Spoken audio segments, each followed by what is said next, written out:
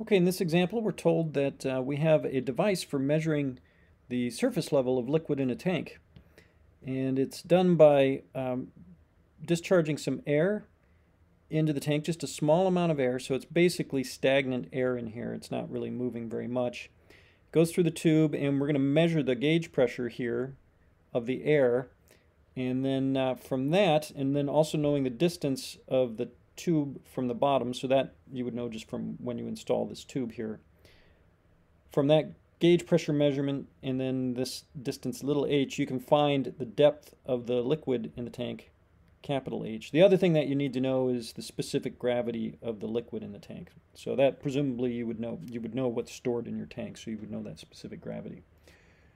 So the way we're going to work this out is we're going to um, pick a couple of points. Let's call this point 1 and then let's call this point 2 right at the exit of the, the tube. So that's right at the exit of the tube there.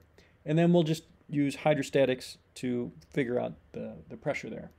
So pressure at 2, just working this way, pressure 2 is going to be the pressure at 1 plus the density of that liquid, I'll just call it rho L, times G times the depth, which would be capital H minus little h. So it's this, this distance, capital H minus little h here. Okay, so that's the pressure at 2. Of course, the pressure at 1 is just going to be um, atmospheric pressure, so it'll be equal to 0 gauge pressure. Right, so then, so then what will, let me uh, rewrite this.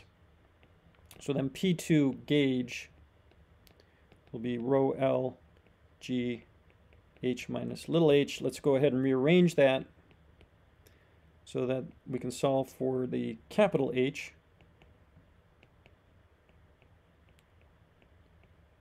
doing a little rearranging.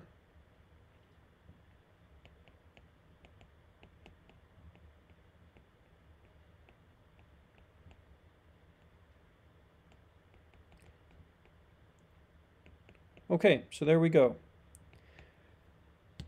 The P2 gauge is this pressure that we measure here. Now, now we know that P2 is the pressure down there, but since this tube is filled with air, we know that the pressure will be a constant with elevation in, in this air because it's a gas and the pressure doesn't vary much with elevation in a gas. So P2 here, it's going to be the same pressure up here where the gauge is. So that's, when, when you read the gauge, that's the pressure that we use here. There's the specific gravity of the liquid times the density of the water, so that gives you the density of the liquid. Of course, g is the acceleration due to gravity, and h is that distance when you installed the tube, knowing how far it is from the bottom. So if we uh, use the numbers that are given, so we're told that the gauge pressure is 20 kilopascals, so we can plug that in, 20 kilopascals, it's a gauge pressure. The height here is 1 meter, we're told.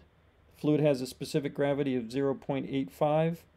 Density of water, we'll say, is 1,000 kilograms per cubic meter. Gravity is 9.81 meters per second squared. We can plug in those numbers and what you'll get is h comes out to be 3.4 meters. So it's kind of a neat application of uh, the hydrostatic pressure relation. Um, you can see we can use it to get a, a pretty good estimate of the depth in the tank. So it's kind of a neat application there. All right, we'll end the example there.